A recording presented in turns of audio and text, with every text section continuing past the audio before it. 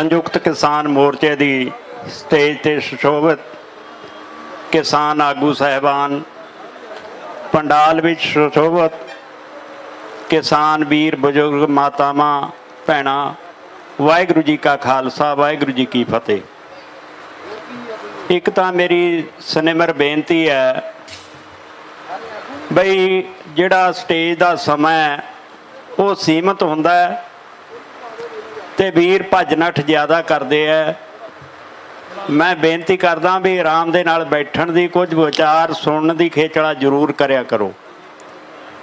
ਕਿਉਂਕਿ ਇਹ ਜਿਹੜਾ ਮੋਰਚਾ ਅਹਿਮ ਮੋੜ ਤੇ ਹੈ ਜਿਹੜਾ 6 ਮਹੀਨੇ ਤੋਂ ਤੁਸੀਂ ਇੱਥੇ ਆਏ ਹੋ, ਤੁਸੀਂ ਦ੍ਰਿੜਤਾ ਦਿਖਾਈ ਹੈ ਡਿਸਪਲਿਨ ਦੇ ਵਿੱਚ ਰਹਿ ਕੇ ਸ਼ਾਂਤਮਈ ਤਰੀਕੇ ਦੇ ਨਾਲ ਇਹ ਸੰਘਰਸ਼ ਤੁਸੀਂ ਵਿੱਢਿਆ ਔਰ ਤੁਸੀਂ ਜਿੱਤ ਵੱਲ ਵੱਧ ਰਹੇ ਹੋ। ਮੋਦੀ ਹੈ ਜਿਹੜਾ ਉਹ ਹਾਰ ਵੱਲ ਵੱਧ ਰਿਹਾ ਹੈ। ਇਹ ਤੁਹਾਡੇ ਸਾਹਮਣੇ ਹੈ। ਕਿਉਂਕਿ ਤੁਸੀਂ ਹਮੇਸ਼ਾ ਆਪਣੀ ਗੱਲ ਹੈ ਜਿਹੜੀ ਉਹ ਪੋਜ਼ਿਟਿਵ ਰੱਖੀ ਹੈ। ਔਰ ਸਰਕਾਰ ਨੂੰ ਤੁਹਾਡੀਆਂ ਉਹ ਪੋਜ਼ਿਟਿਵ ਗੱਲਾਂ ਦੇ ਸਾਹਮਣੇ ਮੂੰਹ ਦੀ ਖਾਣੀ ਪਈ ਹੈ।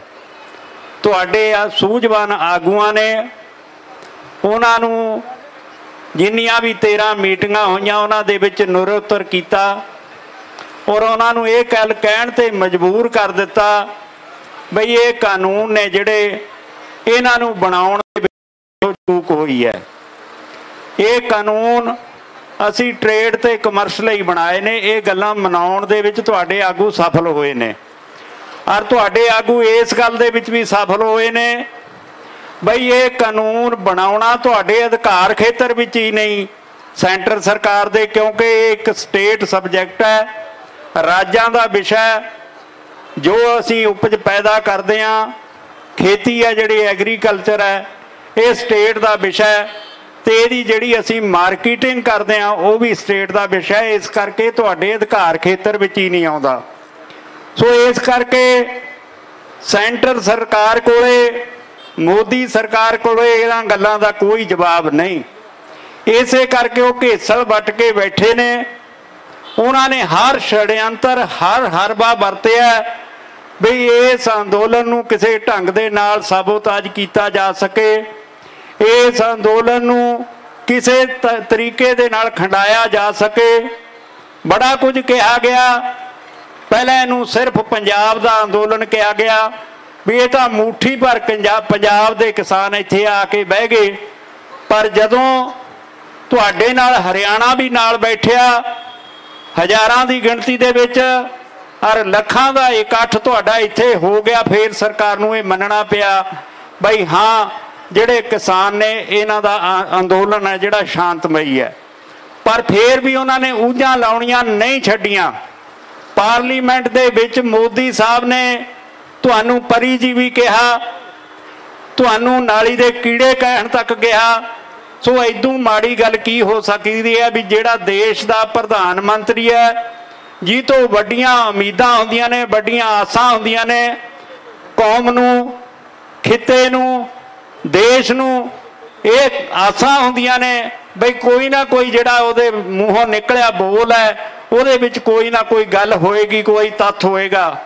ਪਰ ਇਹ ਜਿਹੜਾ ਪ੍ਰਧਾਨ ਮੰਤਰੀ ਹੈ, ਪੂਰਾ ਹੀ ਝੂਠ ਦਾ ਪਲੰਦਾ ਸਾਬਤ ਹੋਇਆ ਔਰ ਇਹ ਗੱਲ ਇੱਕ ਬਾਕਾਇਦਾ ਜਿਹੜਾ ਸਾਇੰਟਿਫਿਕ ਤਰੀਕੇ ਦੇ ਨਾਲ ਇੱਕ ਏਜੰਸੀ ਨੇ ਛਾਣਬੀਣ ਕੀਤੀ, ਉਹਦਾ ਰਿਜ਼ਲਟ ਉਹਨੇ ਦਿੱਤਾ, ਉਹਨੇ ਕਿਹਾ ਵੀ 58 ਵਾਰੀ ਜਿਹੜਾ ਦੇਸ਼ ਦਾ ਪ੍ਰਧਾਨ ਮੰਤਰੀ ਹੈ ਝੂਠ ਬੋਲਦਾ ਸੋ ਵੀਰੋ ਤੁਹਾਡੇ ਇਸ ਮੋਰਚੇ ਦੇ ਅੱਗੇ ਵੀ ਜਿਹੜਾ ਤੁਸੀਂ ਡਿਸਪਲਨ ਨਾਲ ਬੈਠੇ ਹੋ, ਇਸ ਮੋਰਚੇ ਨੂੰ ਪੂਰੇ ਤਰੀਕੇ ਦੇ ਨਾਲ ਚਲਾਇਆ ਭਾਵੇਂ ਠੰਡ ਗੁਜ਼ਰੀ ਹੈ, ਉਸ ਠੰਡ ਦੇ ਵਿੱਚ ਵੀ ਕੋਈ ਪਰਵਾਹ ਨਹੀਂ ਕੀਤੀ, ਭਾਵੇਂ ਗਰਮੀ ਆ ਗਈ, ਤੁਸੀਂ ਗਰਮੀ ਦੇ ਲਈ ਇੰਤਜ਼ਾਮ ਕੀਤੇ ਨੇ, ਭਾਵੇਂ ਬਰਸਾਤ ਵੀ ਪੈ ਰਹੀ ਹੈ, ਤੁਹਾਡੇ ਤੰਬੂ ਵੀ ਉਖੜ ਜਾਂਦੇ ਨੇ, ਤੁਹਾਡੇ ਤੰਬੂਆਂ ਦੇ ਵਿੱਚ ਕਈ ਵਾਰੀ ਅੱਗ ਵੀ ਲੱਗੀ ਹੈ, ਹੋਰ ਵੀ ਕਈ ਘਟਨਾਵਾਂ ਹੋਈਆਂ ਨੇ ਪਰ ਤੁਹਾਡੀ ਦ੍ਰਿੜਤਾ ਦੇ ਅੱਗੇ ਸਰਕਾਰ ਹੈ ਜਿਹੜੀ ਉਹ ਥਰਥਰਾ ਰਹੀ ਹੈ।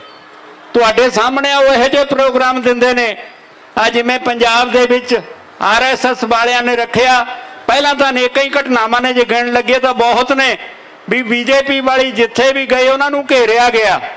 ਪਰ ਆ ਕਦੇ ਨਾ ਕਦੇ ਉਹ ਨਵਾਂ ਸ਼ੋਸ਼ਾ ਛੱਡਣ ਦੀ ਕੋਸ਼ਿਸ਼ ਕਰਦੇ ਨੇ।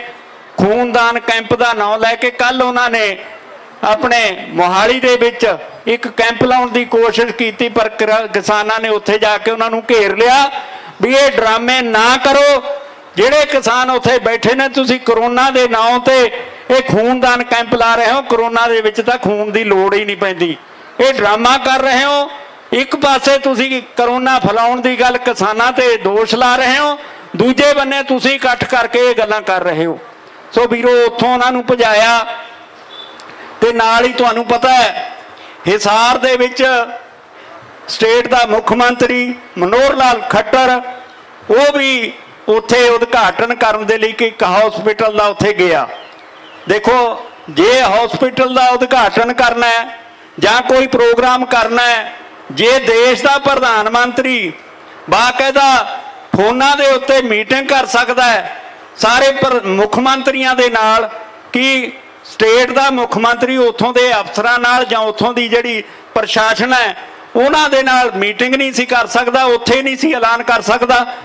ਪਰ ਇਹ ਹੈ ਵੀ ਉਹਨਾਂ ਨੇ ਆਪਣੀ ਜਿੱਦ ਪਕਾਉਣ ਦੇ ਲਈ ਬਈ ਉੱਥੇ ਇਕੱਠ ਕਰਨਾ ਹੈ, ਇਕੱਠ ਕਰਕੇ ਜਾ ਕੇ ਉਦਘਾਟਨ ਕਰਨਾ ਹੈ।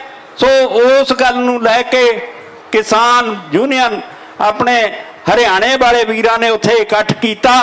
ਔਰ ਬਹੁਤ ਹੀ ਅਫਸੋਸ ਵਾਲੀ ਗੱਲ ਹੈ ਵੀ ਉੱਥੇ ਉਹਨਾਂ ਦੇ ਸ਼ਾਂਤਮਈ ਰੋਸ ਕਰਨ ਦੇ ਉੱਤੇ ਜਿਹੜੇ ਕਿ ਸਿਰਫ ਕਾਲੇ ਝੰਡੇ ਦਿਖਾਉਣ ਦੇ ਲਈ ਗਏ ਸੀ ਕਿਸਾਨ, ਉੱਥੇ ਉਹਨਾਂ ਦੇ ਉੱਤੇ ਲਾਠੀ ਚਾਰਜ ਕੀਤਾ। ਸੈਂਕੜੇ ਕਿਸਾਨ ਨੇ ਜਿਹੜੇ ਉਹ ਫੱਟੜ ਕੀਤੇ ਨੇ, ਬੜੇ ਦੁੱਖ ਦੀ ਗੱਲ ਹੈ।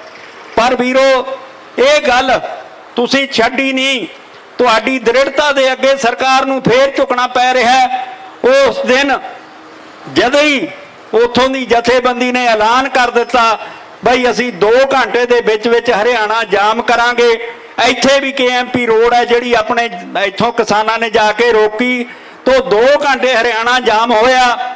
ਉੱਥੇ ਦੇ ਪ੍ਰਸ਼ਾਸਨ ਨੇ ਆਈਜੀ ਨੇ ਉੱਥੇ ਐਲਾਨ ਕਰ ਦਿੱਤਾ ਵੀ ਜਿਹੜੇ ਕਿਸਾਨਾਂ ਤੇ ਕੇਸ ਬਣਾਏ ਨੇ, ਅਸੀਂ ਉਹ ਵਾਪਸ ਲਵਾਂਗੇ ਤੇ ਨਾਲ ਹੀ ਜਿਹੜੇ ਕਿਸਾਨ ਫੜੇ ਨੇ, ਅਸੀਂ ਉਹਨਾਂ ਨੂੰ ਰਿਹਾ ਕਰਾਂਗੇ। ਸੋ ਡਰਾਮਾ ਕੀਤਾ।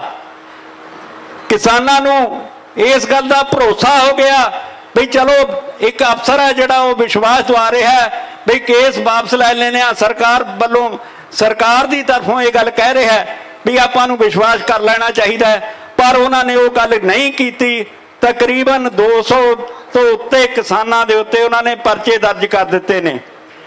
ਅਟੈਂਪਟ ਟੂ ਆਪਣੇ ਮਰਡਰ ਦੇ ਕੇਸ ਦਰਜ ਕੀਤੇ ਨੇ।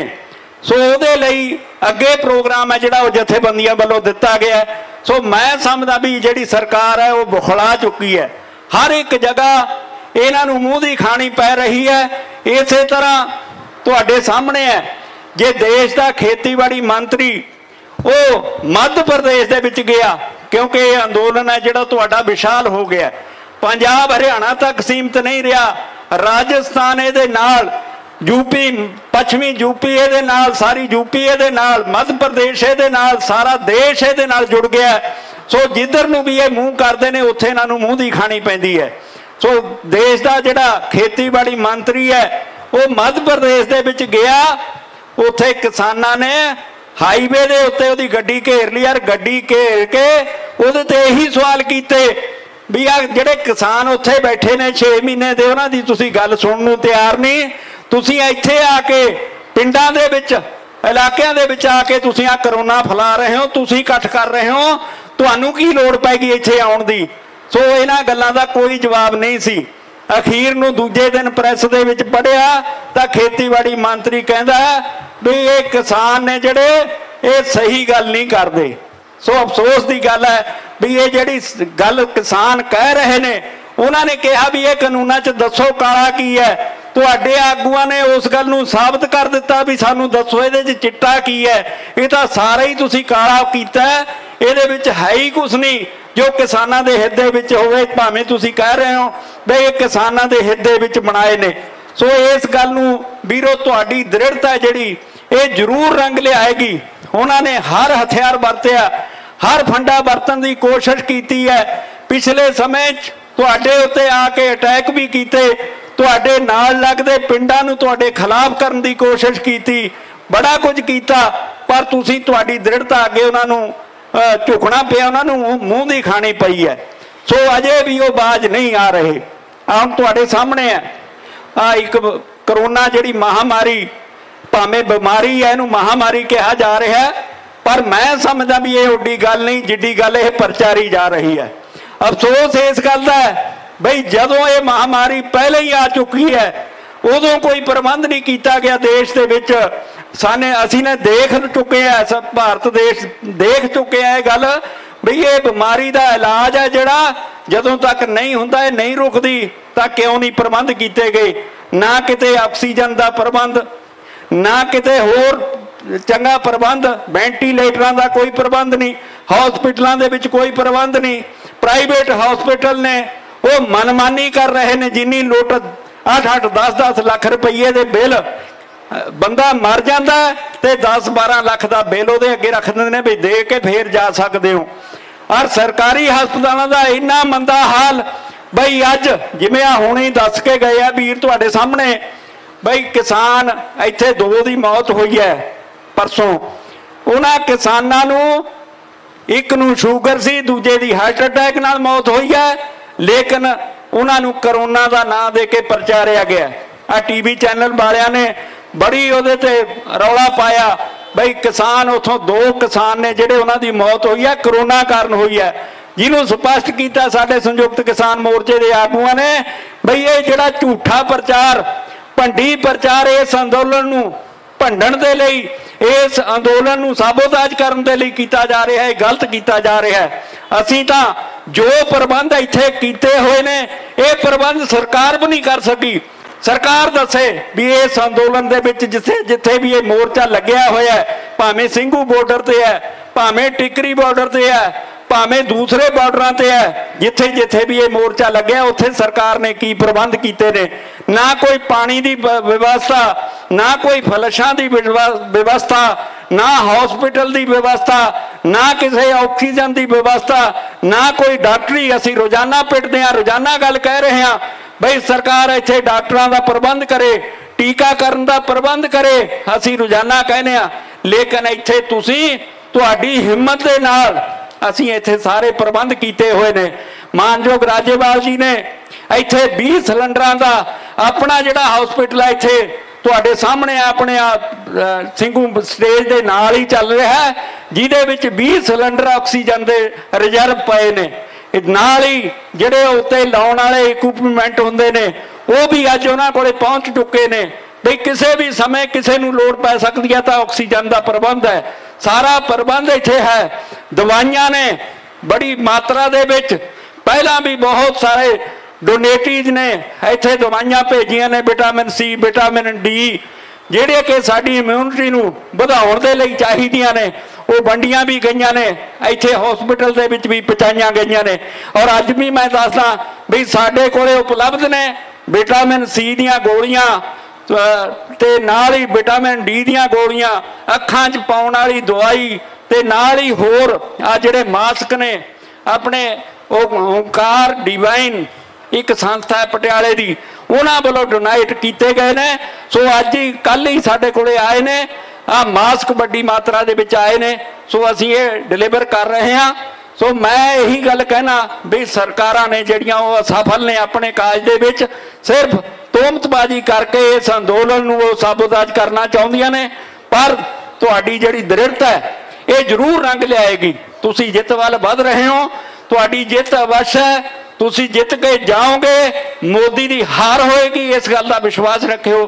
ਭਰਾਵੋ, ਤੁਹਾਨੂੰ ਵਿਸ਼ਵਾਸ ਚਾਹੁੰਦੇ ਆ ਔਰ ਇੱਕ ਗੱਲ ਦਾ ਧਿਆਨ ਰੱਖਣਾ ਹੈ, ਬਈ ਆਪਣੇ ਆਗੂਆਂ ਤੇ ਵਿਸ਼ਵਾਸ ਰੱਖਣਾ ਹੈ। ਜਿਸ ਤਰ੍ਹਾਂ ਪਿਛਲੇ ਸਮੇਂ 'ਚ ਇਸ ਅੰਦੋਲਨ ਨੂੰ ਸਾਬੋਤਾਜ ਕਰਨ ਦੇ ਲਈ ਕੁਝ ਤਾਕਤਾਂ ਨੂੰ ਸਰਕਾਰ ਨੇ ਐਂਟਰ ਕੀਤਾ ਗਲਤ ਤਰੀਕੇ ਨਾਲ ਸਾਡੇ ਅੰਦੋਲਨ ਨੂੰ ਤੋੜਨ ਦੇ ਲਈ ਢੰਗ ਤਰੀਕੇ ਵਰਤੇ।